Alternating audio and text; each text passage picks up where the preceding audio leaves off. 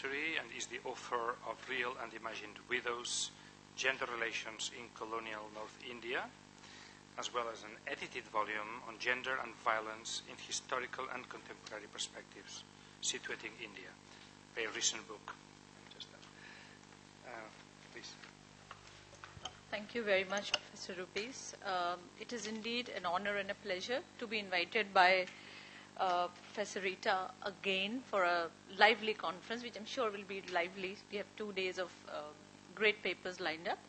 And uh, thank you so much, Rita, for always having me in your conference, and I've always enjoyed. Thank you so much for asking me, giving me the opportunity to present some of my thoughts.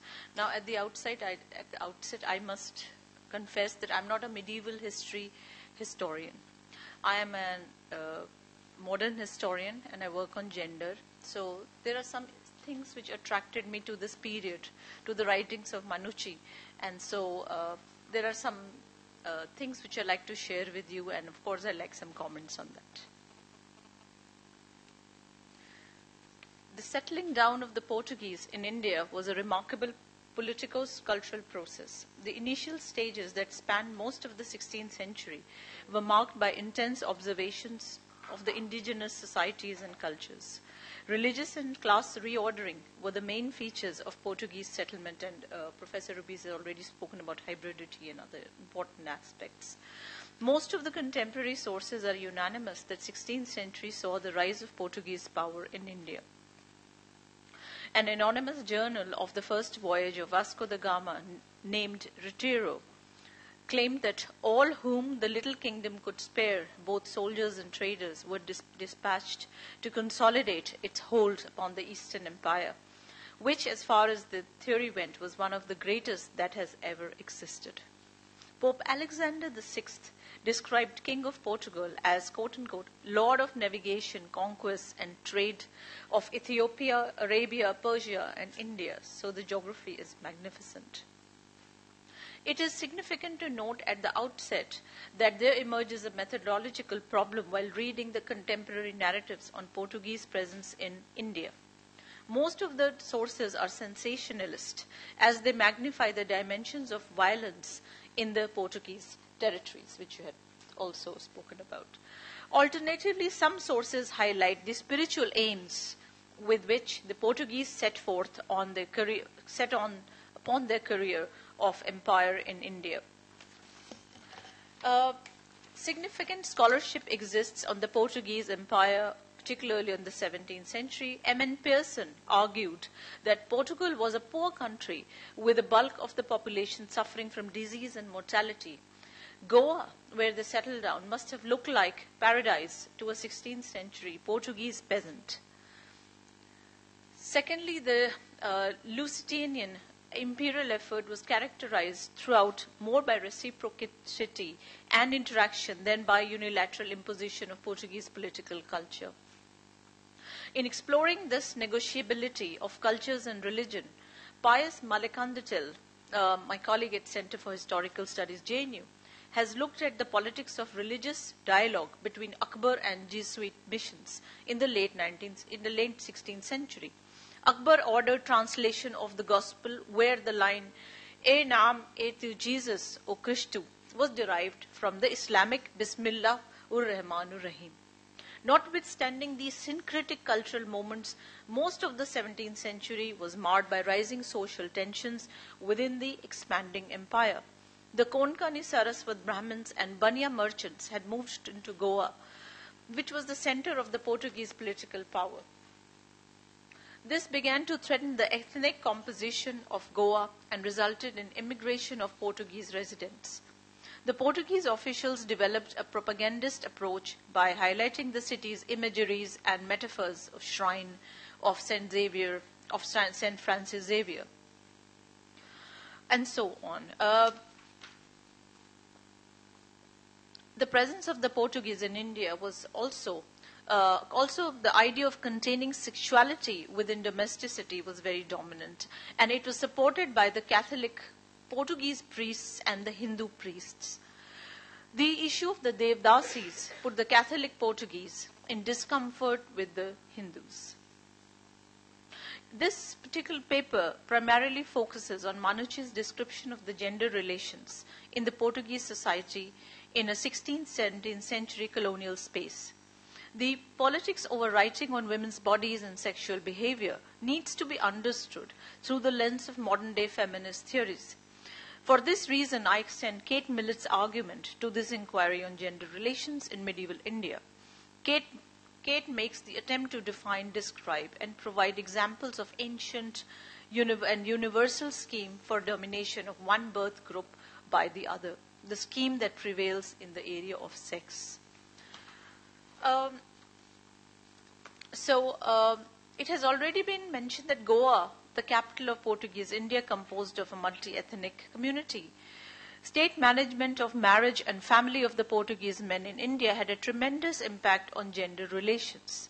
The Portuguese community consisted of soldados, casados, casticos, mesticos, reinos, male and female servants, and slaves. It is well known that Albuquerque instituted the policy of mixed marriages between Portuguese men and Indian women the Portuguese officers appointed, appointed for long-term service in India were allowed to bring their wives and children. In this context, uh, I draw your attention to the scholarship of Alain Sonsue, who has pointed out to the fact that it was mainly the poor and the exiled Portuguese men who first began marrying Indian women. Uh, another one of my colleagues, important uh, ex- uh, expert on Portuguese in India, Joy Pachuau has drawn attention to a document dated 1514 from Cochin, where mention is made of women who associated with, Portuguese men. These, there, there were about 58 women from different ethnic backgrounds. Uh, Malabari, Javanese, Moor, Canaries, Nair, Brahmin, Sokotra, and Gujarati. She describes how church was under pressure to create the category of an ideal Christian. The important binary, however, of Christian and the quote unquote pagan was kept alive. Now, move to some of the cases. The policy of bringing orphan Portuguese women to India also gained momentum around the 16th century. Convents and shelters mushroomed to house these women. The convent of Santa Monica and Rohel uh, the Santa Maria Magdalena and Goa were important institutions. These institutions provided these women with some time to decide whether they wanted to join nunhood or they wished to get married. As wives and unmarried daughters, the women in the Portuguese household found themselves, quote unquote, protected from men. The constitution of sexuality, morality, and divinity came together in the form of Devdasis, or maid servants of the gods. Um, a very important scholar of Portuguese uh, women's history, Rosa Maria Perez, has pointed out that gender representations has shown how the role played by the dancer uh, Devdasi in Portuguese, baladeiro, probably not pronouncing it rightly, provided a powerful tool for Portuguese colonial discourse, which was ambivalent in itself. She argues how, within the imagery of the Oriental mainly Muslim cultures, the harem, the wheel, the polygamy, were highly charged symbols. Through the centuries, the European sexual desire was stimulated by fantasies about women's bodies. It is the body of the sexuated black female that brought together the narratives of exotic Oriental eroticism and imagery of Mediterranean, courtesans. Portuguese sources make distinction between other women associated with Hindu temples and Devdasis. Uh, members of the Portuguese clergy as early as 1577 began condemning the dancers as immoral women. In 1699, the Viceroy Antonio Luis Gonzalez de Camara issued an order announcing expulsion of the dancers from the Goan territory. A heavy fine was announced for those who hosted these women such a morally cleansing mission was crucial as many white women also kept some dancing girls. Uh, I'll, I will uh, go back to the point about sati and then I will talk about what uh, some of the cases from Manucci's account, uh, Storia de. Um, I have argued in my, work earlier that the European travelers and visitors had sensationalized the Hindu rite of sati through stories. These accounts or stories focus mostly on the Hindu widow's intense commitment towards her husband, even though the stories of widows having lost their modesty were rare. It is historically well established the rulers, both Islamic and Hindu, governed sati long before the arrival of the British, and there's ample evidence to show that even British governed sati uh, for 20 years before they actually called it a crime. Um, it is interesting to note how Manucci feels that the Hindu widows gives consent to become the sati. I, I quote Manucci, when these ceremonies are finished, they, which is the relatives, turn the body over on its side. As they do so, the widows, without tears, nay, on the contrary, radiant and joyous, mounts to the top of the pyre and, lying down on her side, closely embraces her dead husband. At once, the relations bind her feet strongly by two ropes, two posts given into the ground for the purpose. Next, they throw some more wood and dried cow dung onto the two bodies, the quantity is almost as much as beneath them. The woman is then spoken to by her name, and three times distinctly she is called on to say whether she consents to go to heaven. To this she replies in the affirmative. Her answers having been received, they apply a light. And when the bodies have both been consumed, each man returns home, envying the firmness and constancy with which the woman had granted herself to be lit with fire. Now, Manucci also displays his, dis, displays his sense of pride in this murderous act, in, in uh, holding up this mur- murderous act. He, men- he mentions that envious men who wish that their wives should, he also mentions some of the envious men who wish that their wives commit sati when they die. So there's a sensational value attached to that.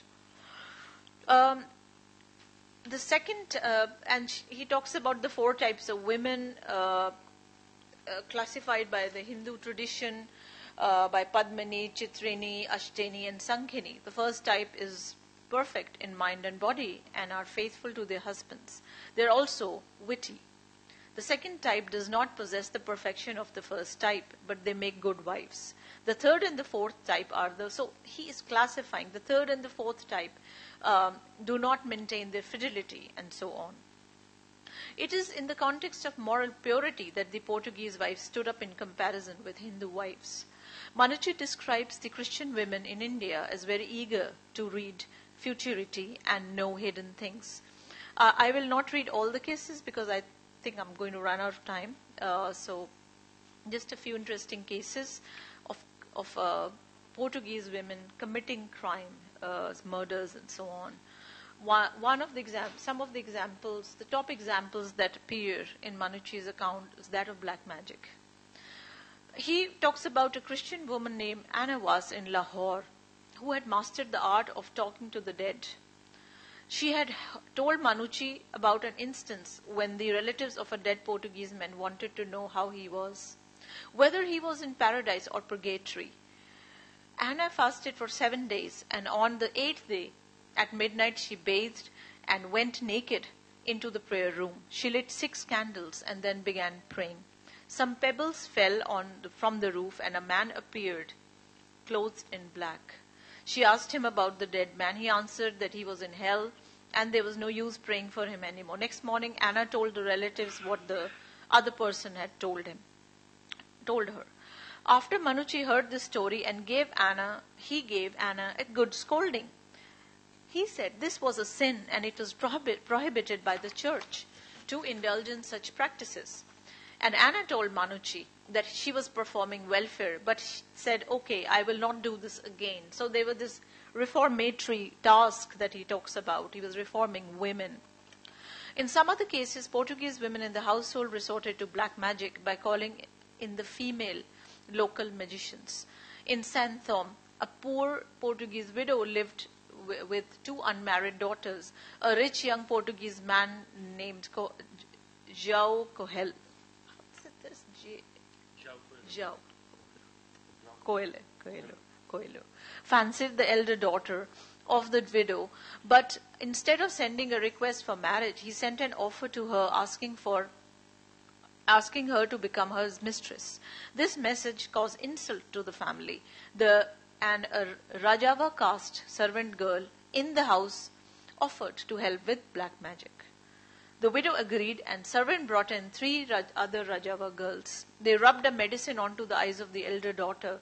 When Coelho saw her, uh, when Co- when Coelho saw the elder daughter, to whom he had earlier proposed to be mistress, he fell madly in love with her and rushed to the widow's house to ask for her hand in marriage.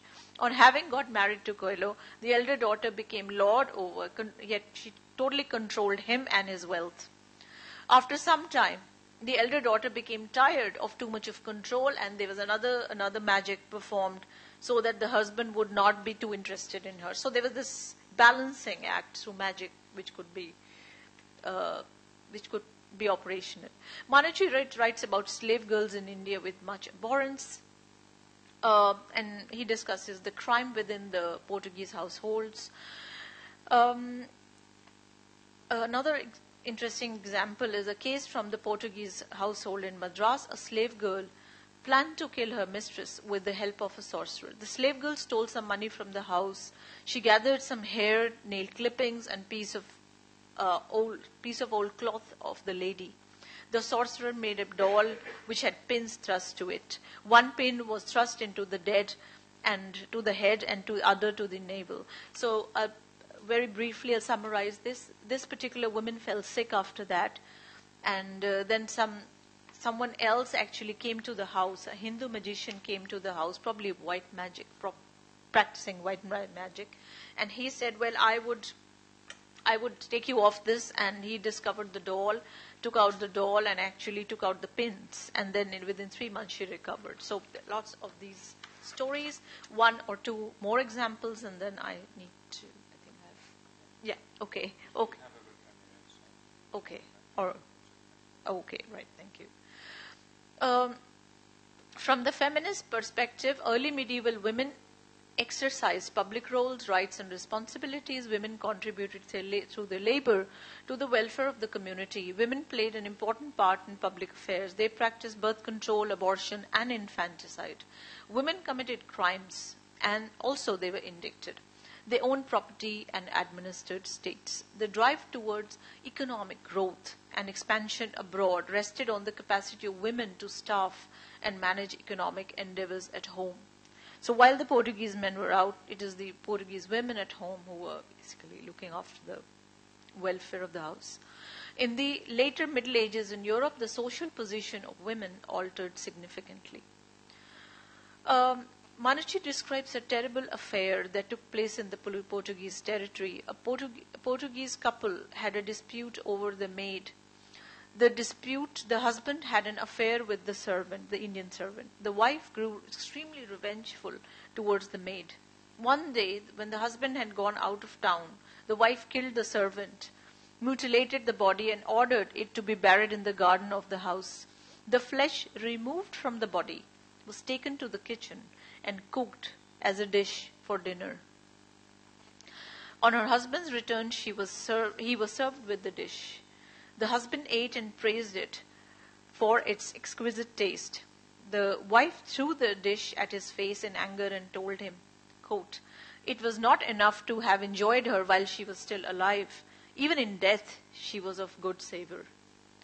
She abused her husband and left the house. So perhaps uh, you know assertion by these women or you know extreme jealousy um, it's kind of negativity that is built into the account of the of, of Manucci um, and there are several other cases. Um, uh, the Portuguese one Portuguese lady Donna Escolastia imprisoned her Mohammedan slave in the house for having stolen something. He was severely punished and deprived of food as a result, he's died. So Manucci writes, uh, I quote Manucci, this murder of slaves and slave girls is common among the Portuguese, and few are the houses in which skeletons of their bodies would not be found. Um, okay. Manucci speaks of marriages where where due to impotency the bride sought separation from the husband and subsequently the freedom to remarry. In one of the cases from Goa, there were seven men who were known well because of their impotency. In the case of one of these who got married, the wife left the house and announced him his impotency all over the city. So Manucci was also a physician, uh, and he worked for the Mughal court. He he, he worked several uh, several capacities. Um, he also served the Mughal Empire. Uh, he actually gave some medicine to this man, and then he was able to regain his uh, uh, potency. So it is kind of, uh, you know, self uh, significance that come that is uh, attached to this. After 40 days, this man regained his potency, and he was able to save his marriage. Amongst the Hindus, there was an ancient fascination with the male potency, and it's interesting to compare that. Uh, that uh, unmarried women worshipped Shivalinga. The belief was that this would help the girl find a good husband and enhance, cup, enhance couples' reproductive strength. Uh, uh, I just end with one paragraph now. It is interesting to note that in 17th century Germany, the court transcripts were used by women. They used the judicial system to negotiate boundaries of patriarchal power on the basis of Protestant ethics. During and after the Reformation, many Protestant territories in Germany established marriage courts in order both to manage and resolve an increasing number of divorce and separation cases. Therefore, uh, finally, to explore the underlying violence in Portuguese women, perhaps simple recourse to the colonial factors would not be sufficient. Some answers may be sought in the socio religious climate of Europe. Women came across as lovers of violent methods in Manucci's account.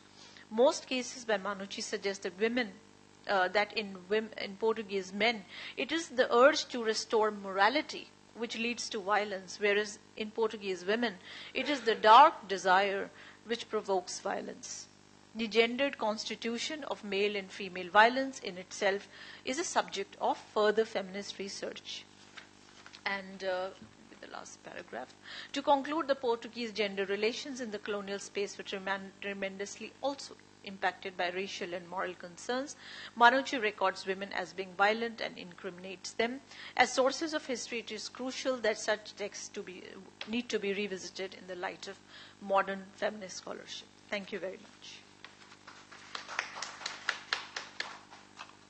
Many thanks uh, for uh, this uh, fascinating look at the um, at all these cases of um, Manucci's stories, and also thanks for keeping to the time so well.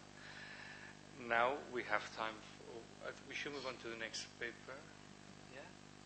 So I'd like to introduce just a minute, Sonya um, Nair, who is assistant professor of the Department of English at All Saints College in Trivandrum, who has uh, worked on trans- transgender festivals of South India and is currently working on a biography of a transgender activist from Kerala. So please, Sonya. Good afternoon. And my paper is on the Hortus Malabaricus and the cartographies of colonial knowledge. Now, personally, I find the Hortus to be a rather interesting text because, uh, as far as the Malayali consciousness is concerned, it, it holds a special place because we are in equal parts both proud and ignorant of it. And often, you know, the, the Hortus Malabaricus is confined to, or the knowledge about the Hortus Malabaricus is confined to a one mark question in the Kerala Public Service Commission exams. And that's why mandatorily almost all Malayali uh, people know about it because we all have these Kerala PSC aspirations. And the question that generally comes, generically comes is, which is the first book in Malayalam in which Malayalam appeared in print for the first time? And the answer is obviously the Hortus. And most citizens or, or people or students I have spoken to have pretty much left it at that. But, you know, upon quite intense investigations, I have found that that's not where it should be stopping because the Hortus carries depths of meanings in the annals of Kerala as well as world history. It's about how it is a witness to the knowledge that was possessed by a certain set of people who have been marginalized as less than human for a long period of time. And the Hortus, the story of the Hortus, is one of discovery and rediscovery. So it's better to begin at the beginning or as far as I can go. Uh, so the Kerala, or the then landmass, uh, which wasn't called Kerala, had been divided into a number of kingdoms or principalities, and they had a history of viable exchanges with trading communities the world over. You know, the Bible has mentions of the Temple of Solomon that was built with timber brought from Kerala. And uh, St. Thomas has established a community of Syrian Christians long before the crusading flags of Europe had reached the shores of Kerala with uh, you know, the Jesuit missionaries. And in fact, the clashes between the St. Thomas Christians and the Jesuit missionaries had culminated in something uh, called the famous Synod of Diamper that happened in 1599 and which led to far reaching changes in the way that uh, the entire uh, liturgy of Syrian Christians was fashioned. And the links between the Greeks and the Romans and the Malabar is also well known. The dominance of the Muziris port and the flourishing trade relations that had made Malabar famous in that part of the world.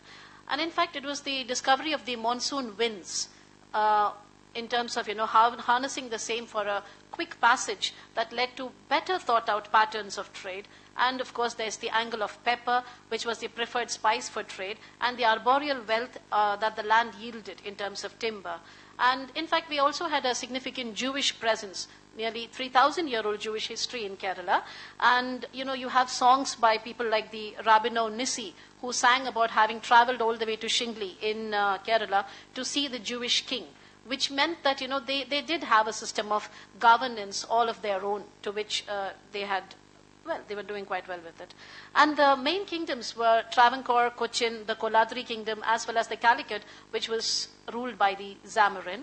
And you had a number of minor principalities which dabbled in the majority politics of the time. And apart from the Syrian Christians and the Jews, the Arabs were the ones who enjoyed trade and settlement rights from the rulers of Malabar, and they won favors particularly from the Samudri, who, as uh, Dr. Rubies was mentioning in the morning, you know, it was the job to keep the traders happy. So there were a number of Islamic settlements in and around Calicut. And I think the, the first mosque in, in India was at Kodungalur. Now, there are detailed accounts of uh, Arab activities in the Malabar and their maritime relations with the various coasts of Malabar. And as I told you, the presence of Islam was a respected ideology in Malabar. And there are also these legends that the last ruler of Malabar, that is the last Chera ruler of Malabar, had decided to embrace Islam and he was going away to Mecca, so he divided his kingdom among the three principalities the Koladris, uh, the king of Cochin, and the ruler of Travancore. And then the Zamorin turned up and asked for his share, and he said, All I have to give you is my sword, so you live by this, conquer, plunder, and make a kingdom for yourself. But there's no way of substantiating this because the Jews, uh, I think the Buddhists, the Jains, they've all claimed that the last ruler of Kerala had adopted their religion. So there are substantial narratives of travel with regard to the Malabar, and most deal with the natural wealth of the land. Like when Marco Polo visited uh, Kerala, he was talking about uh, the, uh, the pepper and how pepper is prepared in order to be processed and so on. So these and many such accounts contributed immensely to the urgency with which the colonial missions spread in Malabar. And initially, what started off as trade grew to aspirations to um, acquire monopoly of the trade, and the changing regimes in Malabar were reflections of the changing equations of power in Europe. So, one of the most significant players in the making of Malabar and ultimately Kerala history are the Portuguese.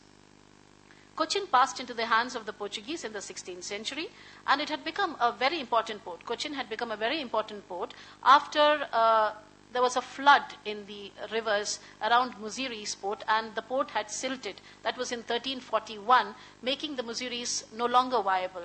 And therefore, the choice automatically shifted to Cochin, and then the connotations and the permutations of trade and how desirable Cochin was in, in terms of economics also changed. So the Samudri had his eyes on Cochin and uh, he was aided in his initiatives by the Allies. And so the arrival of the Portuguese was seen as a blessing by the Cochin king who felt that now he has somebody in his corner who would be able to counter the advances of the Samudri. But this did not make it any better for the king of Cochin because he was reduced to the status of being a mere vassal. And uh, this time, this was just by the Portuguese. So the close of the 16th century saw the rise of the Dutch in Europe. And this was reflected in the simultaneous incursions into Malabar. And they found ready collaborators in the Zamorin, And this resulted in the Treaty of 604, which referred to the Samudri as the Emperor of Malabar.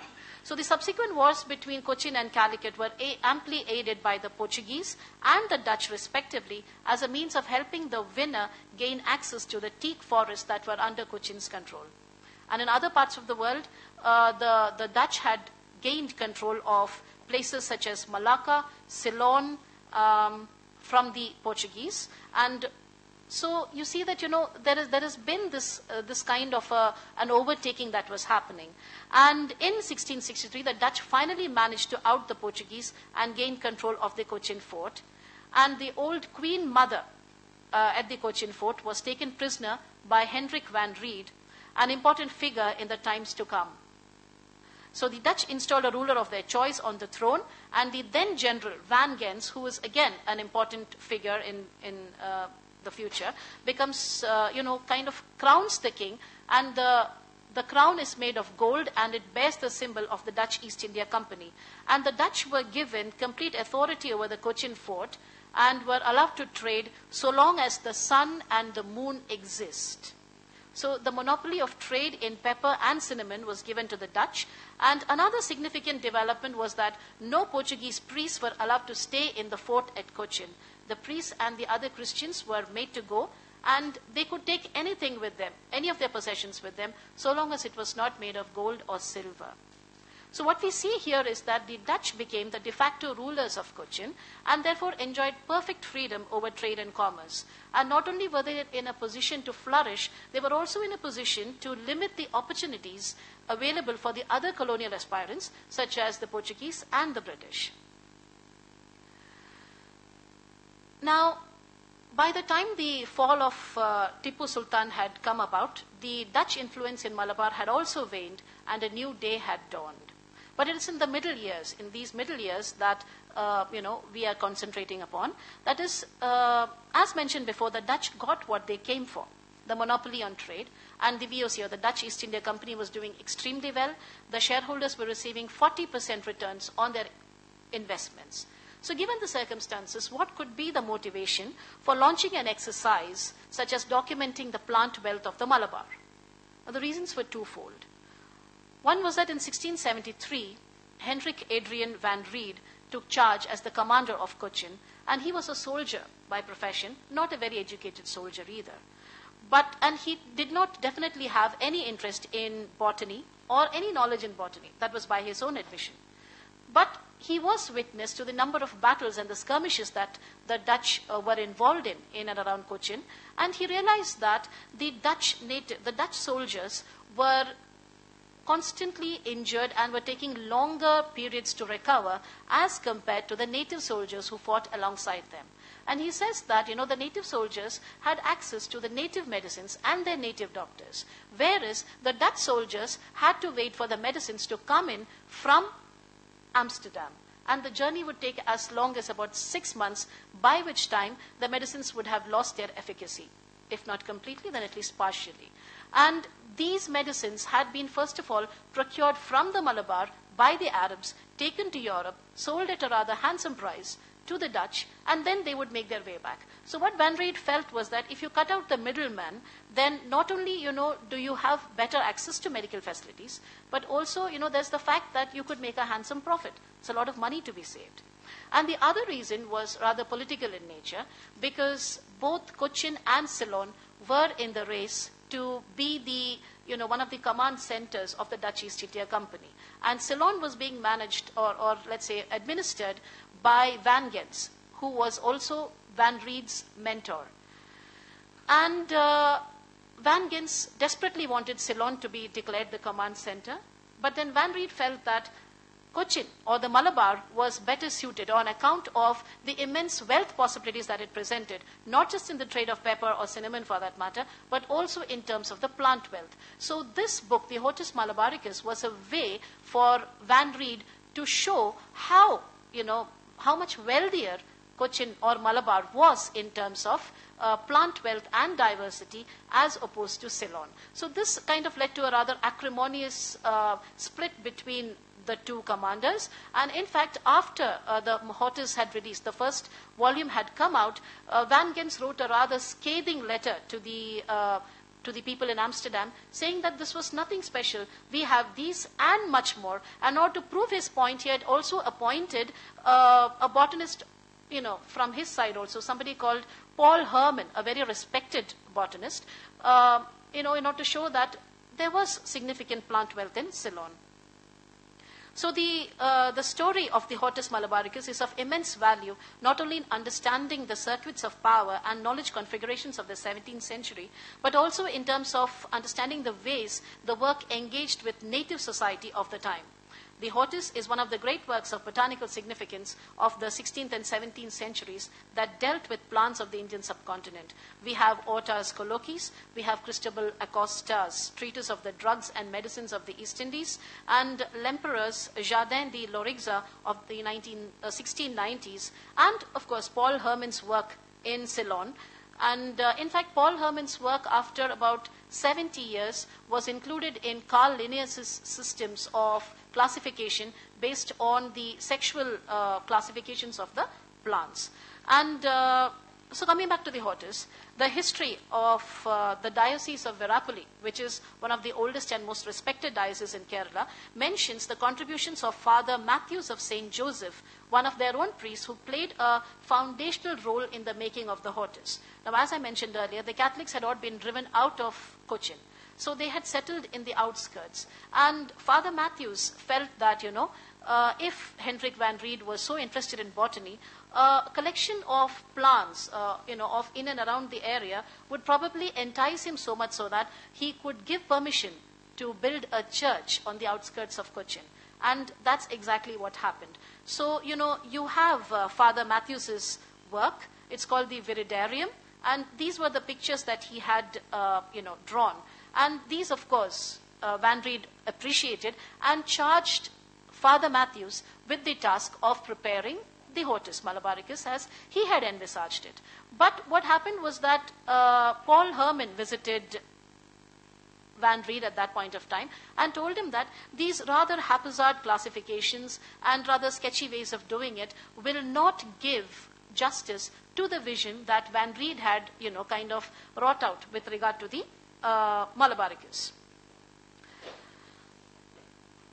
So this was the reason that Van Rheede changed his illustrators, and in the process of compiling the book, now he was assisted by dozens of experts, including physicians, scientists, artists, plant collectors, interpreters, etc., from Malabar and Europe. So the book was first written in Malayalam because the people who were collecting these samples knew only Malayalam, and they had a working knowledge of Portuguese because the Portuguese had occupied the Malabar for a period much longer than the Dutch had. So the book was first written in Malayalam, then it was translated to Portuguese, and then to Dutch, and finally to Latin because uh, Van Rheede felt that it would not have the credibility if it weren't written in Latin. So this was the long-winded route that the Hortus followed before it was finally released. So, uh, you know, there are people like John Casearius, who was translating the book from Dutch to Latin. Then the final illustrations were made by people like Anthony Jacob and Marcel Splinter. And you had four Malayalis, or let's say Malabaris, who were working on the, on the plants, namely Itti Achyutan, Ranga Appu and Vinay Pandit. Now, the contributions of these people uh, will form the focus in the later part of this paper. And you had uh, Emmanuel Carneiro and uh, Donep, who were the translators. And the manuscripts and uh, tra- illustrations were prepared at Cochin, both at the Dutch Palace as well as at a place called David Hall. And uh, the history of David Hall is also quite interesting because in the later times it was a warehouse. Okay? And then, you know, uh, for a long time it lay abandoned. I mean, after all this, uh, you know, the hortus was written and sent off and everything. It lay abandoned for a long time, and then with the coming of the Cochin Biennale is when this space had been reclaimed and people were actually made aware of its history. So there are these, you know, segments of of, uh, let's say, places and landscapes that lie dormant uh, till something like this comes about. So, and of course, he had a number of editors like Arnold van Sien, then you had Munich's, Almeloveen, uh, Abraham van Putte. Now, about 780 species of the most important plants of Malabar were described in the Hortus Malabaricus and were supported with 794 really beautiful illustrations. This is the cover page.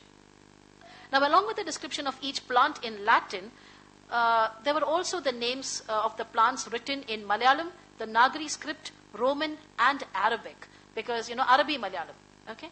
And the medicinal properties of the plants, the method of preparation, application of the medicine are also given in the book. And most of the information regarding the medicinal properties of the plants were given by the four Malabaris that I mentioned earlier. Now, um,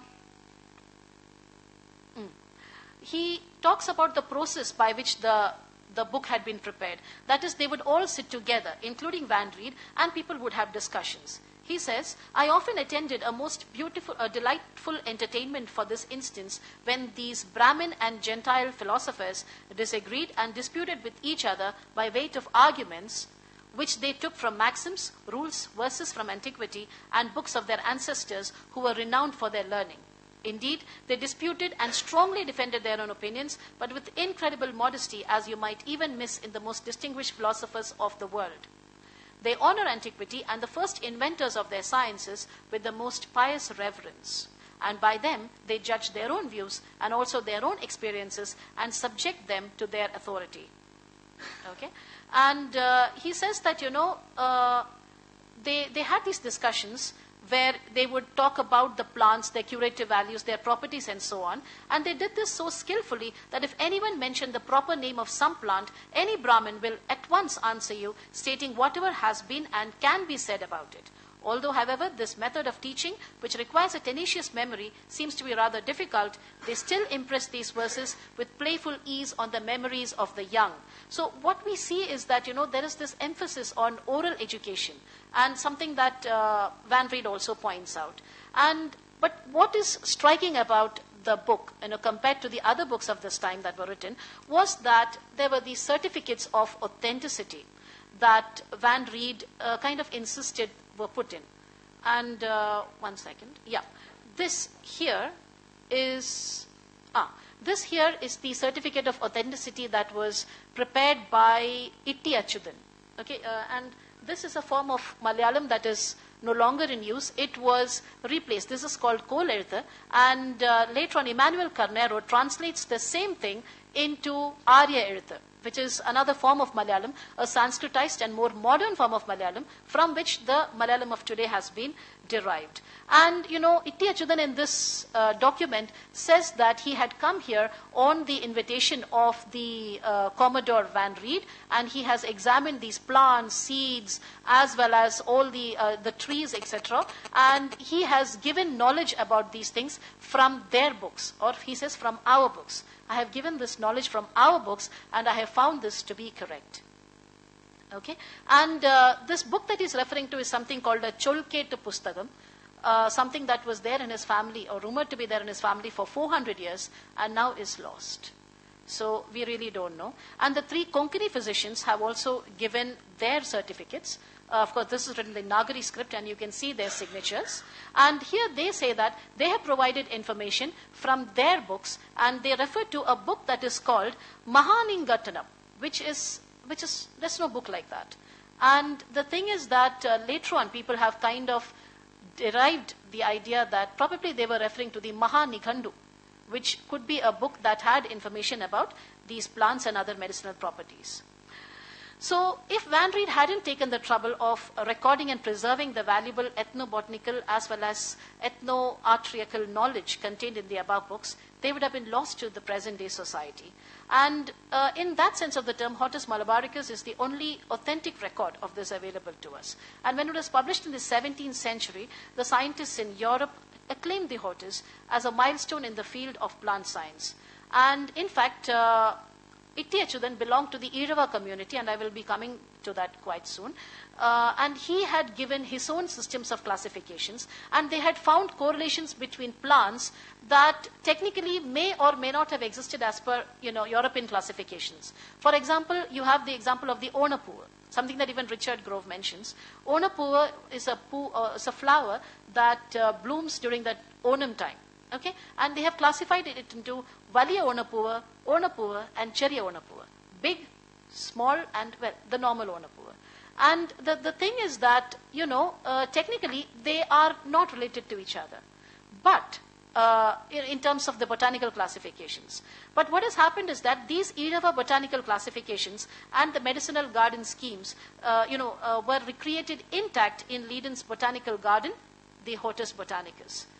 And after 75 years, uh, you know, during the renaissance of uh, botanical science, Carl Linnaeus, the father of modern botany, on several occasions made mention about the significance of this book and establishing that 250 new species had come from it.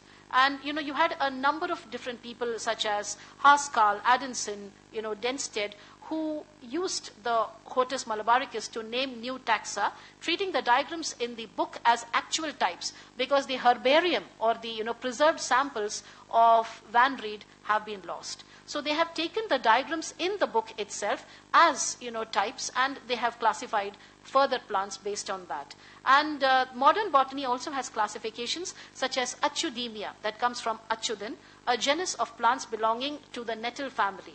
Rheedia is also a genus of plants. Now, anyway, coming back to the Hortus, uh, you know, uh, Van Rheede was soon transferred to Batavia, and he took the relevant information with regard to the Hortus with him. And uh, after the first two volumes were prepared, you know, he sent them off to Amsterdam, but he retained a copy here in case, at, at Batavia, in case they got lost at sea. And uh, the publishers of the first volume, curiously, died the following year after it was published, and thereby, you know, kind of gave the Hortus a rather superstitious coloring, since we're talking about superstitions. And uh, it was the second volume was brought out by the widows of the uh, the people who had died. And by the time the third volume came, the money had run out, so they had to form a consortium of publishers to cut the losses between them, if at all any happened. Anyway, uh, and the thing was that the book was not an ordinary size. It was folio or double folio in some cases, and uh, the engravings were made on copper before they had been, you know, before they were ready for printing. So that was the model that he was following. Anyway, and uh, one person, that is Almeloveen, tried to translate two of the volumes into English, but he soon gave up, possibly because of the poor reception of the books. Now, medically, the book suggests 136 plants for curing fever, 86 to relieve pain, uh, and uh, 66 for healing wounds. Arthritis, there were 53 of them. Eye ailments, 51 remedies. Stomach aches, 48, and 20 for cholera. So we see that, you know, all the ailments that the Dutch could encounter in the Malabar were all addressed. Now, besides these, there were remedies for gonorrhea, ulcers, there were aphrodisiacs, and remedies also to reduce the sex drive of men. That's very interesting. And in all, there were about 2,789 remedies for 210 ailments. And most of the uh, ailments, as I told you, were covered, uh, people that they could encounter in the tropics. Now, there was this one particular plant called uh, Puvanpeda, which uh, till I think uh, 20 years ago used to grow on these compound walls. It, it's a kind of a moss. And uh, the special mention made of the Puvanpada because, you know, we don't see that these days because Malayalis have discovered pressure pumps, so they get rid of all of this. Uh, the Puvanpada uh, is as suggested by the, the Vaidyans. If you take it and you mash it and you apply it, you know, it's a, it's a good cure for cataract. That is, uh, suppose there's cataract in your right eye, you're supposed to apply it to uh, the nail area of your big toe on the left leg. And if the cataract is in the left eye, you're supposed to do the converse. Uh, I suppose it's the, the cross wires. So uh, there were these very interesting remedies, such as these mentioned. And occasionally, you know, in the illustrations, you have native men uh, coming in as, you know, toddy tappers or in conversation with uh, a well dressed uh, Dutch official. And people say it could have been Van Rheede, but only his back is uh, visible. Am I done? Oh, yeah, sure. So, uh, the paper, in the spirit of uh, fashioning identities, looks into the implications that these certificates have had in terms of providing a discourse on traditional indigenous medicine. Uh, I had already told that before. Mm. Yes, so now I would like to talk about uh, why it is that the figure of Itti Achyutan is so important in, in the compilation of uh, the Hortus. It is because he was in Irava, and the Iravas were a rather marginalized community. They were subjected to the, uh, you know, the, the, the oppression of the caste system and were perennial slaves to the whims of the upper caste. Now, apart from being considered impure and not being allowed to enter temples and so on, there was a time in Kerala when something as basic as applying sacred ash to the forehead was denied to the Iravas. So there was only, you know, up to the Nair community, people could apply uh, the sacred ash on their forehead. Below that, that is the Iravas and below, were not allowed to do so. And they had to petition and fight for the right to apply uh, sacred ash. So, f- you know, for such a community to be involved in something so monumental as the Hortus uh, puts into perspective. You know, it's an, it's an act of writing back. And it cleanly divides knowledge into Brahminical and non-Brahminical. And in the process, it stands to reason that there is significant historical redressal and reclamation waiting to happen in terms of uh, appropriation of indigenous knowledge that Itti Achyutan quite freely gave away.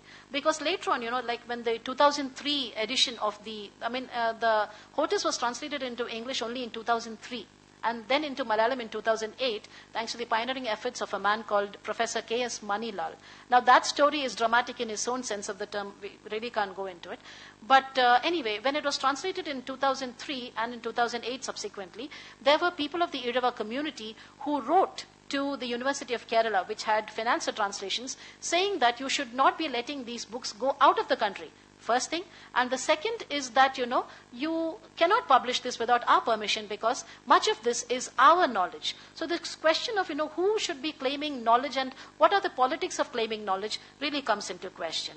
And also, you know, there's this idea that, you know, uh, Ayurveda was something of a, a territory of the Brahmins. And, you know, we had these images in the media and otherwise of, you know, Brahmins composing Ayurvedic texts uh, when the advertisements for soaps and all used to come, Ayurvedic soaps. So we would have this image of the Brahmin uh, sitting and writing uh, on the Thaliola Granthams. And people have been inordinately proud of this. But, you know, when you come to realize that that is not the case, that these, knowledge, that these systems of knowledge came from somewhere way below, uh, you know, people who had been denied and people who had been seen as ignorant or not possessing valuable or viable information, it kind of, you know, uh, upends the entire idea of even Kerala modernity because the idea of granting rights to the uh, people to enter the temple or the idea of education. See, all of these things are, are then put into perspective. So I would say that the possibilities of discussion on the Hortus are immense and they're only beginning. Because in the newspaper clippings of the 1950s, uh, what would happen is that there were only cursory references to Itti. We would have, you know, things like, oh, these are the, I'll come to that later. Yeah, these, uh, you know, clippings like these, you can't make out much, but they would just cursorily say that there was this Vaidyan by the name of Itti and he came from this place, Cherthala in uh, Kerala, and then there were these four Brahmins, uh, you know, three Brahmins, sorry. And that was about it. But then, you know, gradually, I suppose it's because of the clout also that the Irava families uh, had, uh, Irava businesses had, that by the time it was the 1990s and all, the, the narrative began to change. Uh, was called a, a rather sacred figure, a divine figure. His family began to light or was set to light these uh, lamps in the evening uh, at this uh, Kuriyalapura, which is actually a, a, place where you revere your uh, elders. And he was called a noble soul and one of the greatest Ayurveda physicians of the time. So there's a kind of a hagiography building up about him. So I believe that the story of the Hortus is one that needs to be told because everybody realizes it's there, but they do not realize probably what is in there. Because my college library has 12 volumes in English uh, stacked up in the reference section. I suppose it was bought in 2003 when the thing came out. And so I went uh, down there to refer to it, and I found that the laminated, the laminated covers were all sticking to each other. So which means if I pull one, they all would come together. So uh, it kind of means that, you know, nobody, nobody was going through them. So today the, the government of Kerala is honoring Itti Achyutan and they want to name institutes after him. They want to name uh, the first Ayurveda university in Kerala after him, and so on. So I would say that you know the it's a kind of a 330 year long journey that this text has taken. So technically, this text is also a traveler text because it traveled, and it is a result of uh, you know the the viewpoints of a lot of travelers, and the text per se has completed a grand circle from starting with Malayalam, going on to Portuguese, Dutch, Latin, English, and finally Malayalam. So it's also the perfect intersection, you know, um, and destination. It's an intersection where everything culminates in knowledge finally. So, thank you. This is the last picture of the, um, the, it comes at the end of the 12 volumes. It is something called Tena. Why I put it in was that the, the first volume begins with Tenga, which is coconut, and it ends in Tena. So I don't know whether there was unintentional poetry in the T and the Th and that's how it ends. Thank you very much. And uh, I think that some of the people in Manucci's stories could use some of the herbs in, uh, in the Hortus Malabaricus to achieve their ends. Um, but uh, if I may now introduce our final speaker for the morning, and that is the very organizer of the conference, uh, uh, Rita Banerjee, who is a fellow here at the Nehru Memorial Museum and Library, as well as formerly uh, associate professor at the Center for English Studies in Nehru University. Um, she's at the moment having a book, a book um, to be published by Brill called Representing India in 17th Century English Travel Narratives, Ethnography, Protestantism, and Enlightenment, which I imagine is the kind of book that leads to this conference. Uh,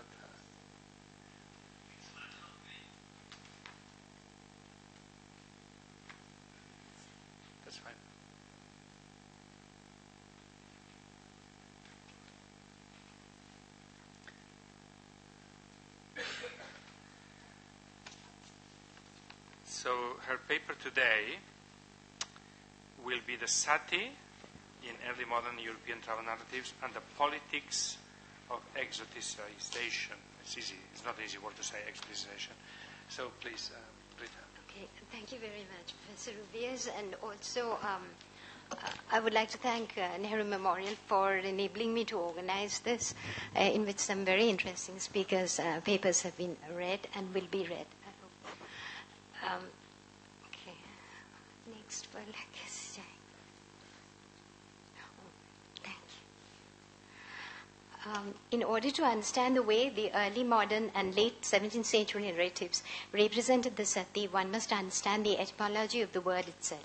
Sati was the name of Shiva's consort who gave up her life on hearing her husband abused by her father, thereby demonstrating her absolute love for her husband. In the Indian languages, the word sati denotes a woman who exemplifies unflinching loyalty and faith to her husband, although in the European usage, the substantive was transferred to the suicidal act instead of the person. The emphasis on the act rather than the person in European languages suggests the curiosity and interest aroused by this exotic custom among the Europeans. In Indian usage, only a secondary sense of the word connotes the woman who accompanies her husband in death by burning on his pyre, generally designated by words like anumarana or sahagamana. According to John S. Hawley, uh, quote, in its origin, sati is a Sanskrit feminine participle derived from the verb to be. He adds that Indic speech prefers the phrase being or becoming sati, sati hona, and finds it awkward to think of performing or doing sati but the connection remains close, perhaps even essential. Uh, unquote. The climactic moment of a display of virtue and loyalty is when the virtuous woman or sati forsakes her life and accompanies her husband in death. Hawley argues that, uh, quote, because this is the moment at which such virtue becomes fully visible. However, there is a sense in which uh, sati as person depends on sati as practice, the actual act of immolation. Unquote. This paper looks at various accounts of the practice as portrayed by some European travel writers over the 17th century. Edward Terry, Francois Bernier, Peter Mundy, Thomas Bowrey, and John Ovington. During these early years of the encounters between cultures, we find variant portrayals of the sati as a heroic and courageous woman, a deluded, pitiable victim, a possessed witch, and even an avenging murderess that ensures just uh, distribution for her partner in crime. This paper argues that the desire to negativize non Christian religious practices on the one hand, and the simultaneous uneasy recognition of the prevalence of similar patriarchal beliefs, cultural values, and prejudices in the West on the other, produce deeply ambivalent portrayals of the practice of sati.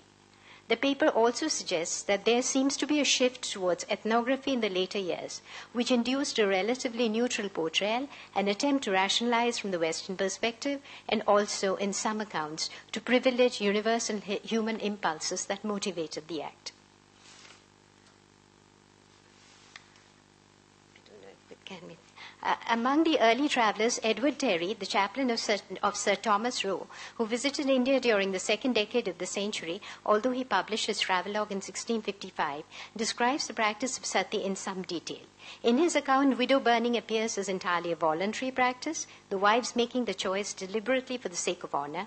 After their husband's death, Hindu wid- widows never remarry, he states, but they cut their hair and live an utterly neglected life. And he deduces that self immolation frees them from such a life of neglect and dishonor that, and confers upon them much honor. Terry lauds the firm resolution and self sacrificing ardor of the woman. Quote, when she, the widow, comes to the pile, which immediately after turns her into ashes, yet Yet she who is once thus resolved never starts back from her first firm and settled resolution, but goes on singing to her death. And again, though she have no bonds but her strong affections to tie her unto those flames, yet she never offer, offers to stir out of them. Unquote. However, while Terry showers praise on her steadfastness and love in confronting courageously a painful death, as a Christian clergyman, he must needs pity her ignorance and illusory belief as satanic quote, but for those poor silly souls who sink themselves into the extremity of misery and thus madly go out of the world through flames that will not last long into everlasting burnings, led, led hereunto by their tempter and murderer, deserve much pity from others who know not how to pity themselves. Unquote. However, Terry is unable to give moral sanction to an act of suicide which forms part of the beliefs of a heathen religion, and the feat of resolution and steadfast faith gets transformed into a devilish deed. Likewise, the firm, resolute, and constantly loving woman undergoes a transformation into the poor silly soul, and the flames which she mistakenly believes would carry her to an everlasting life of union with her husband herald the prospect of everlasting burnings in hell. The language of implicit admiration passes almost imperceptibly into the language of pity and condescension. Terry draws the biblical analogues of the Ammonites who sounded drums and tabors while they made their children pass through fire to Molech to compare the practice of the Hindus in drowning the cries of the burning widow. His rhetoric of pity is also of Christian piety and indignation, which induces him to exhort them as poor wretches who serve such a hard master quote unquote, a satanic, uh, a satanic God who compels them to be their own executioners in the flower of their youth and strength. The repetition of the contrast between Satan and God recurs as the chief motive throughout Terry's sketch of the sati, culminating in his astonishment that, quote, the devil should have such an abundance of servants in the world and God so few, unquote. Terry's response to the practice suggests that sati could serve as an exemplar of wifely devotion and unwavering chastity to uh, European women. Pompa Banerjee points out that, to quote, widely known texts such as the Book of Common Prayer reinforced wifely ideals of absolute obedience and surrender that were not unlike the selfless renunciation of the sati A virtuous widow, which uh, that's what I have there, which features in Sir Thomas Overbury's 32 new characters, seemed akin to the wifely ideal. A virtuous widow shows that the widow suffers a near death in the death of her husband because the joys and pleasures of living cease to matter for her. Quote, she thinks she had traveled all the world in one man. The rest of her time, therefore, she directs to heaven. She hath laid his dead body in the worthiest monument that can be. She hath buried it in her own heart to conclude she is a relic. Unquote. A relic implies a memorial of a husband or the veritable remains of a dead per- person. Therefore, without relinquishing her life, the virtuous widow becomes the remains of her husband, almost a lifeless object rather than a living human being. Her characterization as an object rather than a living human being whose desires are directed entirely to heaven closely resembles that of the sati who gives up all desire for life and seeks to join her husband in heaven. That 17th century English texts on wifely virtue make of the widow a relic of the dead husband indicates the presence of common ideals with respect to the figures of the wife and widow. Terry's praised the constancy and self sacrificing courage of the Sati draw on similar values. As Ania Loomba writes, quote, even the harshest colonial criticism included a sneaking admiration for the Sati as the ideal wife who represented the wholly admirable sentiment and theory that the union of man and woman is lifelong and the one permanent thing in the world. Unquote. Similar sentiments seem to prevail during this pre colonial period. Terry projects the patriarchal ideal of feminine constancy in the figure of the sati. He does not seem to have actually witnessed the practice of sati, but unable to reconcile or sanction the dictates of a non Christian religion with this European ideal of purity, he diminishes her status to that of a pitiable victim. The portrayal of Sati in travelogues like that of Terry look forward to late 17th century English drama, which occasionally introduced the practice of Sati as a signifier for chastity and wifely devotion. Dryden's Aureng-Zebe shows the Muslim Melesinda burning herself to death like the Hindu Sati, Sati to rejoin Morat, her husband after life. Uh, in his dedication of the play to John, Earl of Mulgrave, Dryden presents Melesinda as a woman passionately loving of her husband, patient of injuries and contempt, and constant in her kindness to the last. And in that, perhaps, I may have erred, because it is not a virtue much in use. Those Indian wives are loving fools and may do well to keep themselves in their own country, or at least to keep company with the Arrias and Portias of old Rome. Some of our ladies know better things. Unquote. The depreciatory statement weights a positive stance as shown in the invocation to the classical examples of feminine courage, Arria and Portia. The contrast with the supposed wisdom of English widows and wives is evidently ironic, that the liberty of English ladies often led them to promiscuity and adultery at the expense of their faithful husbands was a common charge against women in Elizabethan and Jacobean drama.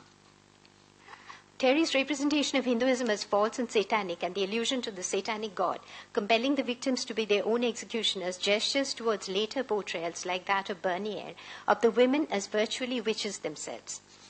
Bernier uh, relates an eyewitness's account of a few instances of the custom of sati, including one in which he directly intervened and succeeded in preserving.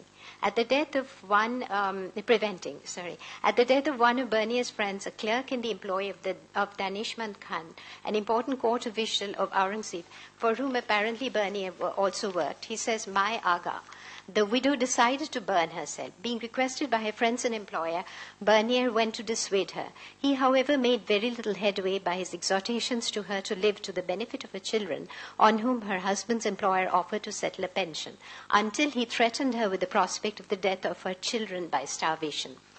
At first sight, um, Bernier likens the ceremony to witches' Sabbath seven or eight old hags, and another four or five excited, wild, and aged Brahmins standing round the body, all of whom gave by turns a horrid yell and beat their hands with violence. The widow was seated at the feet of her dead husband. Her hair was dishevelled and her visage pale, but her eyes were tearless and sparkling with animation, while she cried and screamed aloud like the rest of the company and beat time with her hands to this terrible concert.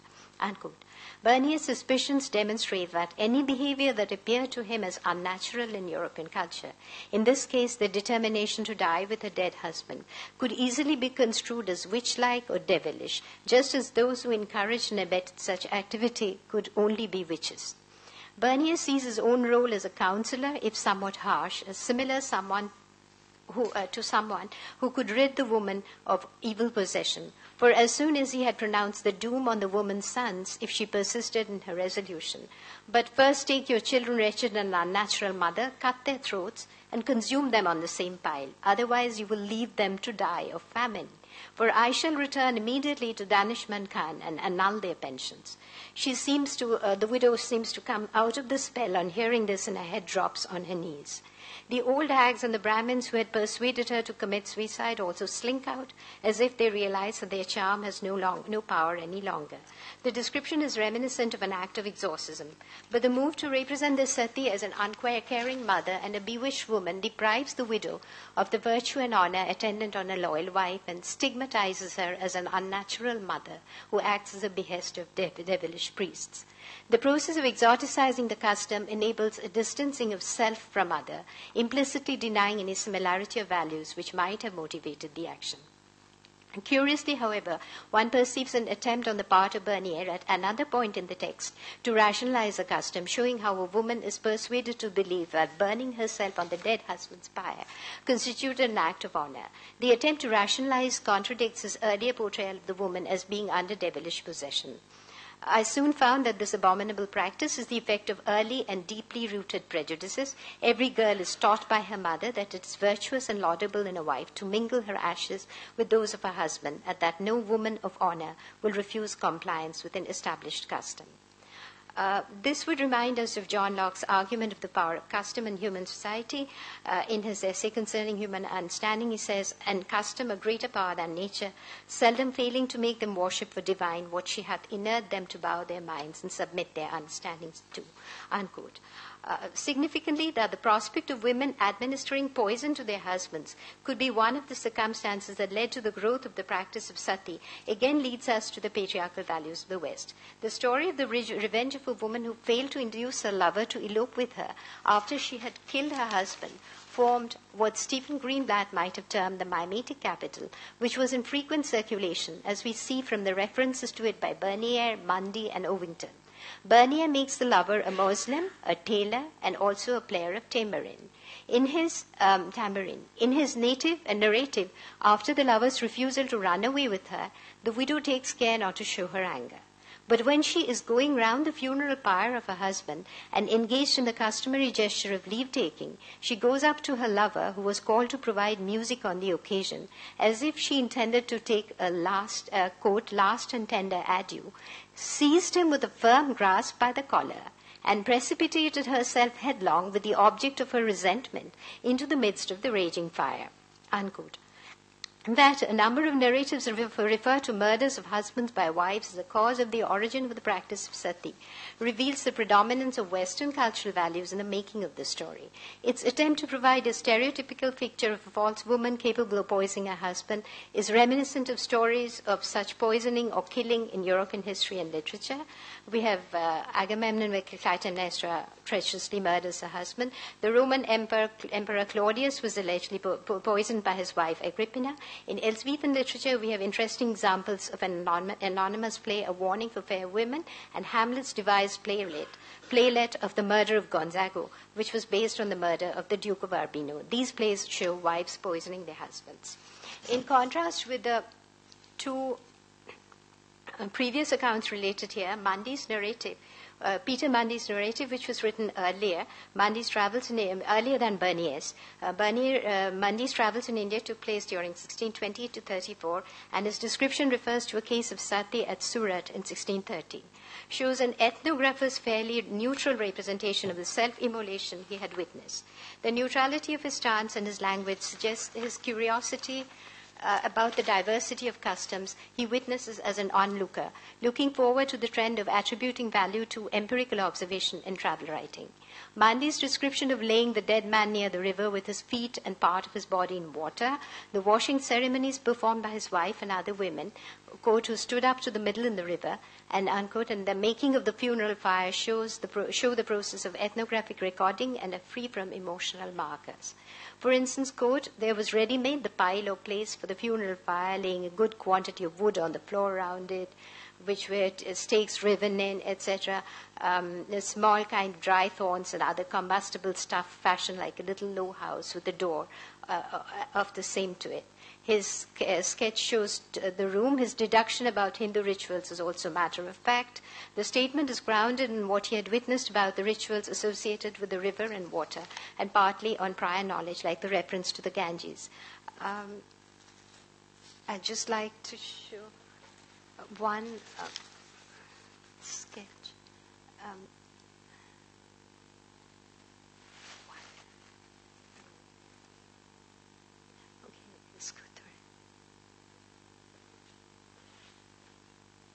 Um, this I would contrast later with another uh, sketch. This is uh, very different from uh, some of the others. This is just like a kind of matter of fact recording, I would say.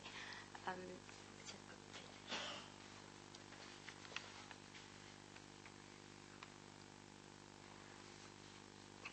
Uh, significantly, Man- Mundy's background was very different from that of Ambassador Roe, uh, Chaplain Terry, Dr. Bernier, or Priest Ovington. He was, when he was 15 years old, he had worked under Captain John Davis as a cabin boy, and then as an employee of the EIC, he served initially as a writer and then as an underfactor.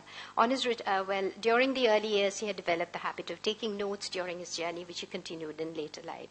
Uh, Unlike Mundy's, Ovington's account of the practice of sati, um, writ- this was written towards the end of the century, 1689, published in 1698, seems based on information he had received from others, although his description of the new natural world and sketches indicate em- empirical observation. Uh, both Terry and Ovington seem to have found such absolute love as displayed by the wife who accompanied her husband in death as laudable. But while Terry finds religious mandate as the sole cause of this practice, Ovington searches for other causes to explain the custom.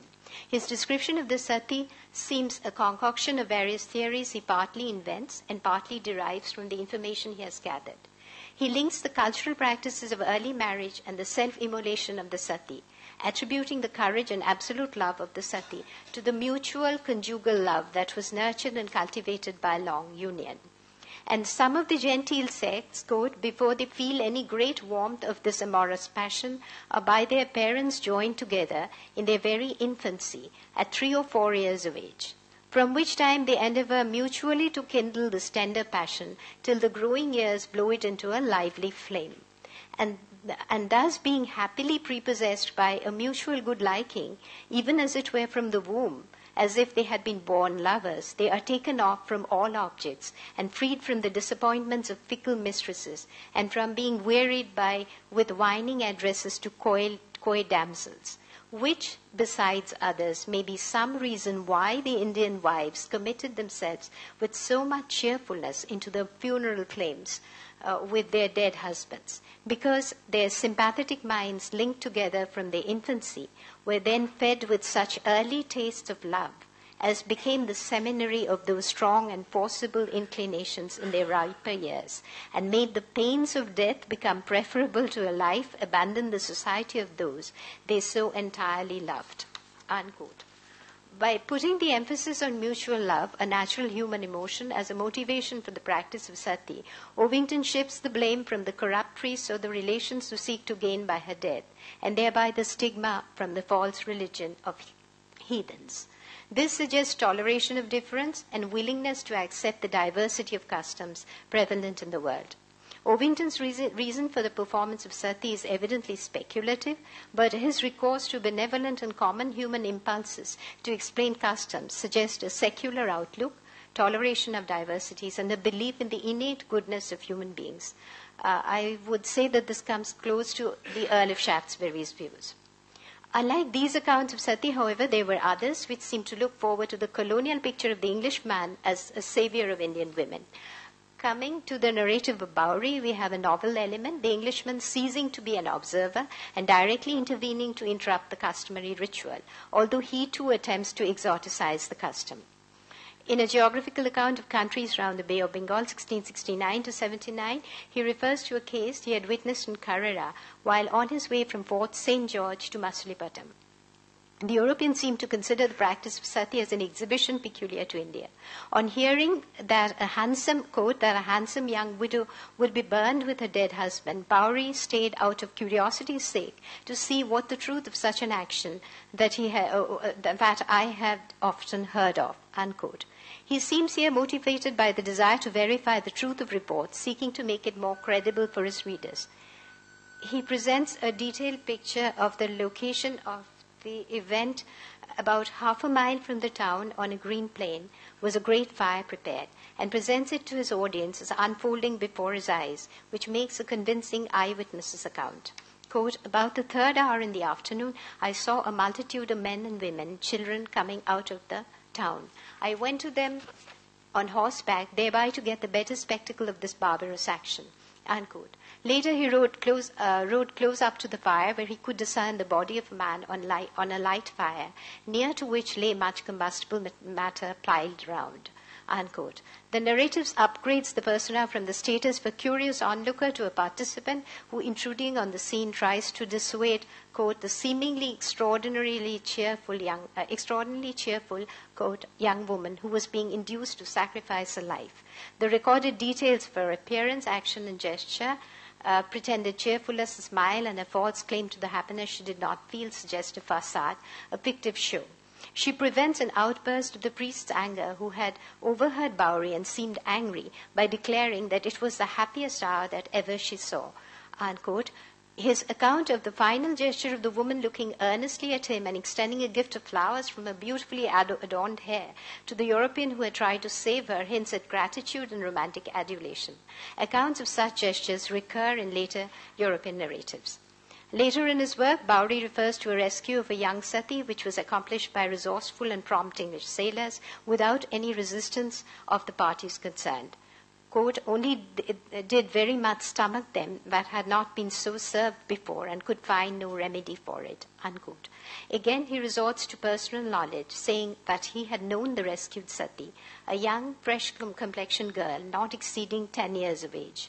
Unquote who later, repenting of her act in conquering with such evil heathenish counsels as to commit sati, converted to Christianity and lived with the English in their factory at Masulipatam. Representing the Englishman as a savior of the sacrificed victim, in, victim enables Bowrey to distance himself from what he calls a barbarous practice. Such romantic knight errantly gestures apparently look forward to the later representations of the Hindu widow as silently crying out to the British government for succor during the colonial period. The responsibility of saving brown women, uh, quote, uh, saving brown women from brown men, unquote, lay, as Gayatri Spivak says, of course, with white men, who are, by definition, humane. Um, by exoticizing sati, the early modern European narratives elided the similarities of cultural values and stereotypes that might be associated with the practice, enabling an unqualified critique, of the other and moving towards the representation of self as a savior and redeemer. The shift towards ethnography and search for motivation in the social conditions towards the latter half of the century suggests a more detailed and relatively secular attitude towards the cultural practices of the alien. In isolated writings like that of Ovington, we discover a desire to understand the practice of the other by privileging shared human altruistic, altruistic emotions. That's it. Thank you. I, I just show one more picture.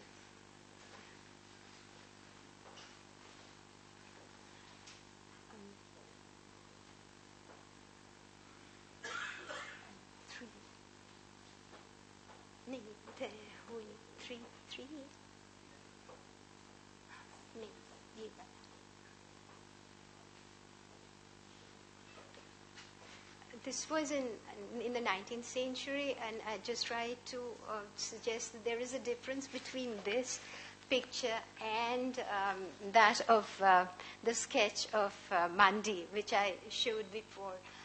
It's, uh, I think they are more, um, they're emphasizing more the people who are trying to kill her, kind of, and uh, she's sort of with a hand raised, might be even um, crying out to whoever. Uh, India, India's cries to British humanity, uh, uh, etching depicting a sati from James Peggs, 1832, just to suggest that.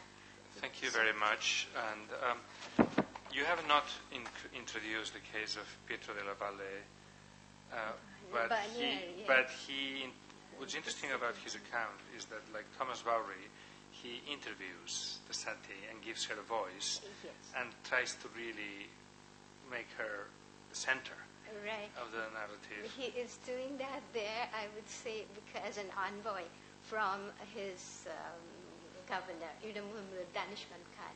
So, no, I'm talking about Pietro. No, I'm talking about Pietro della Valle, the Italian who goes to southern. Uh, to uh, he's in Ikeri in, in southern India, in, in Karnataka today. Yeah. He he talks to this woman called Jacama, who is a sati, and he in the 1620s, okay. and he no, and he tries to convince her not to, but he also writes poems in her honor, and and he establishes some kind of relationship with her. So I thought it was interesting because his account, I think, was translated into English and must have been influential as well. And it's one of the few accounts that makes the female agent central. I mean, her explanation of what she's doing. You're Uh, right. uh, so, Yes, there are certainly examples where people intervene, and I think this is happening much more later because um, uh, Bowrey talks about this. Job Charnock in uh, Bengal had actually um, saved a woman and lived with her for a number, as man and wife, Yeah. for a number of years. So uh, this was, I would suggest, th- of course, you're referring to something earlier, Pietro del Valle. Yeah, Um, but at the same time, uh, yes, sometimes they do.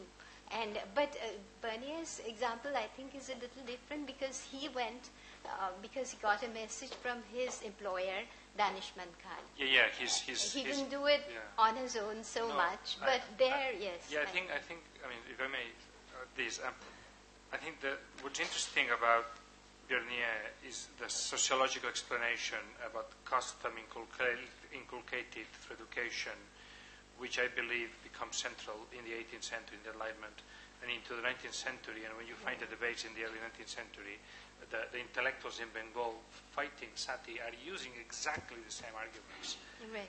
that exactly. Bernier is using Ray. in their analysis. So I think that, that it's a diff. But in the case of De La Valle, what I find is the opposite. What's interesting is not the sociological explanation as much as putting the, the, the, the psychology of the, of the sati, uh, respecting that, basically putting it at the center and saying, I mean, I cannot agree with you, but I admire you, which is quite, quite a different approach, I think. Uh, That would be interesting. I'd look yeah, at that. yeah. But is there any other, other questions or comments also to the other papers? We don't have much time, uh, but we have, I think, five minutes. So if, uh, a couple of people who would like to ask a question, please feel free. Kate? You spoke about, uh, about the process of appropriation of uh, indigenous knowledge, and absolutely. Um, I was just wondering if you had looked at the ways. If you had, sorry, if you had looked at the ways that um, that knowledge was used, so the medical uses, it clearly was a medical. uh, It was, it was medical purpose, you, as you emphasised, was, was paramount here. So, did the Dutch then use those uh, traditional methods? Um, do we know, you know, how much, you know, how, how much they they actually benefited from it? And you also talked about the Leiden Botanical Garden being being laid out. Um, following this, I'd like to know a little bit more, if you know anything more about about how it was actually used in practice in those ways. Uh, actually, they did use uh, the, uh, the herbs in the ways that uh, was mentioned in the book. And in fact, uh, it kind of led to a better networking between uh, the, the plants at Cochin and the plants from Ceylon. All of these began to be documented better for the sake of these you know, medicinal properties. So the soldiers gradually gained access to these and they did find uh, considerable relief as well as, like I mentioned, profits. So there were these uh, plants that were put into use. And uh, one second, with regard to the uh, the Leiden Garden, you were telling me, yeah, uh, that is because they were following a certain form of uh, you know classification at Leiden, and when these plants, you know, uh, the hortus arrived, and you know when they when they saw the kind of classifications that these people were making, uh, they kind of respected that and maintained those uh, in terms of these plants. So And the they were they, so actual plants were also arriving. They were No, the herbarium had arrived. So, so you're talking about the way the herbarium was organized. Yes, the herbarium was organized, as well as some of these plants had been classified in the in the gardens. You know, these plants were taken, some of them, the life samples, later on, not with the yeah. but later on they had traveled there. So yes, so actual live plants are only being transported later when, because it's very hard to keep plants alive. Yeah, because uh, in Ceylon, uh, they were sending these plants uh, all the way to Leiden as well as to Batavia. So, So there was also at this time there was also transport of, of, of live plant material. yes, but not immediately, but gradually with the passage of time. Not uh, from 1678 to 1693, no. Th- those were the times when the book was written. I would like to give room for any other questions, And Geetika, I was wondering uh, how might one how might one think of the contemporary history of this uh, classical botanical text in the context of biological uh, patents and intellectual property rights? I was hoping somebody would ask me that because I didn't find time in the paper. Actually, uh, what happens is that uh, you know the Hortus malabaricus stands as an, an important bastion in protecting uh, the intellectual property rights of the herbal knowledge from India. Okay? Because uh, a lot of pharmaceutical companies are interested in filing patents for these particular plants and their medicinal values, like what happened with turmeric a couple of, uh, you know, some years ago. So what happens is that uh, thanks to the existence of the hortus, we can claim something called prior knowledge which means that we already knew what these were being used for and we had been using them and hence they are ours. So in terms of TRIPS and in terms of intellectual property rights, uh, this is one of the reasons why, you know, I, I suppose I'm given reliable information that they are seeking to set up an Ayurveda university in Kerala in order to ensure that this kind of biopiracy does not come about. Uh, because uh, there was this very famous case with the uh, Tropical Botanical Garden Research Institute uh, approaching uh, a tribe called the Kani um, in and around Trivandrum because they had this uh, kind of herb that they mashed and drank in order to give them energy. And it was called Arogya Pacha. Pacha is green and Arogyam is health. All right. So uh, the TBGRI offered them, uh, you know, royalties for producing this, and they took the rights and sold it to another Ayurvedic company, manufacturing company, for 10 lakhs. But then the question came about as to, you know, who, which of these Kani tribe members are going to get it? Is it going to be, you know, that uh, they're all going to get it together and how are they going to go about distributing it and then who's going to be cultivating these plants? In the middle of all of this tug of war, what happened is that a US company filed international patent. They forgot to take international patent.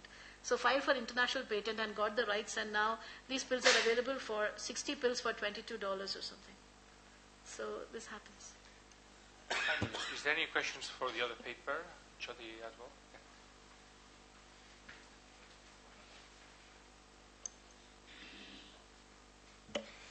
Uh, thank you all the speakers for such fascinating papers. My question is to Dr. Jyoti Atwal. Thank you, ma'am, for such an interesting paper. Uh, I just want to, uh, like you have, uh, like I, it, I have read, like you mentioned about so many fascinating, different, different stories in Manucci's uh, writing. I just want to, I'm just interested to know, is there the, is there any criteria which you have observed in which he have created other, like one case you mentioned there is this Momden servant in Portuguese house and the other women, like is this othering created on gender based, like religious basis, caste basis, or this in general it was just because you are an other? So this othering is created on any particular categories you found, or it's just that creation, just the other is created in general? I don't know whether I'm like, is it? Thank you, Rekha. Uh, actually, the othering is a general phenomena. It's not only gender, it's happening in every aspect of writing. The othering is very much there. But what I was pointing out to is the gender, the other othering within the gender as well, because the way Portuguese men are looked at and the construction of Portuguese women's sexuality, even Portuguese men's sexuality. You know, there is no one other you know, this const- others are constantly being produced. So I don't think I was at all focused on that other. It, it, it is in my title, uh, which was originally, you know, we decided on titles and so. But as you could see, it was mostly focused on Portuguese women. Uh, you know how Manucci reads them. That was the entire exercise about here. But thanks for bringing it up here. It wasn't really othering multiple levels of othering. Can I, can I, uh, sorry, uh, sorry, please. This is just an observation. Actually, the Bengali word harmad, chor dakat harmad. Harmad is Spanish armada. No, no, I am, uh, yes, yes, yes. So, uh, in popular, you know, culture, the harmad is always associated with violence. And in old Bengali text, uh, 16th century text, you know, the sailors, they are uh, sailing at night, fearing these harmats. ফিরঙ্গির দেশ খান বাহে কর্ণধারে রাত্রিরে বাহিয়া যায় হারমাদের ডরে Harmad root word is Spanish armada, but in popular, you know, perception, it is the, you know, this pirates. So I'm saying, you know, mm, that Portuguese in uh, popular Bengali notion, it's always associated with violence, nothing else. Professor Rubies, could I just make a comment on uh, uh, Rita's uh, paper? Just one minute, yeah. Uh, it's the last question because we need to go for lunch now. not even a question, it's just a comment. Uh, yeah. Uh, thank you both. You know, your papers were fascinating. Rita, this is just for just a comment. You know, it's interesting. You you mentioned the uh, the various. You try to look at. You categorize the various writings. Interesting. and how they look different when you read Sati and you. But I think one thing which is important for you to know is that when in the 19th century the question of legality came up, legally banning Sati, the ban question came up. Oh, I'm sorry. Uh, uh, the 19th century question of ban when it came up, I think what operated then was not none of these uh, exotic images were ever, you know, considered. It is the church which becomes very important then.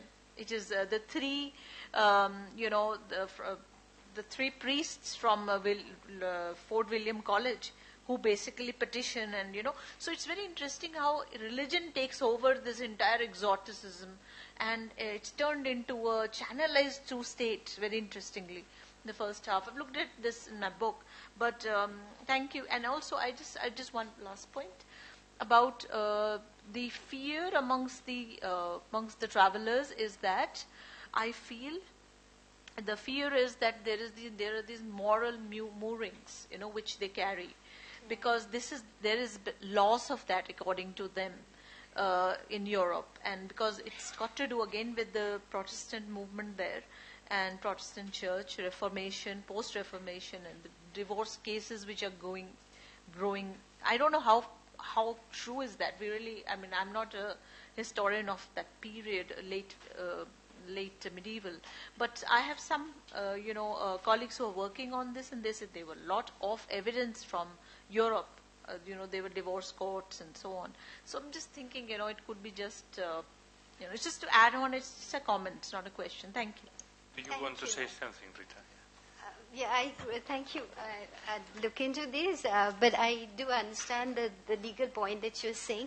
At that time, uh, the yes, they tried to show whether or not there was sanction for this sati at all in uh, religion, in Hinduism, because they didn't want to alienate these people or antagonize them, and uh, only to show that there was no uh, real. Um, I mean, it was not a mandate that uh, sati had to be um, uh, performed, and that's how they managed to bring in. Good.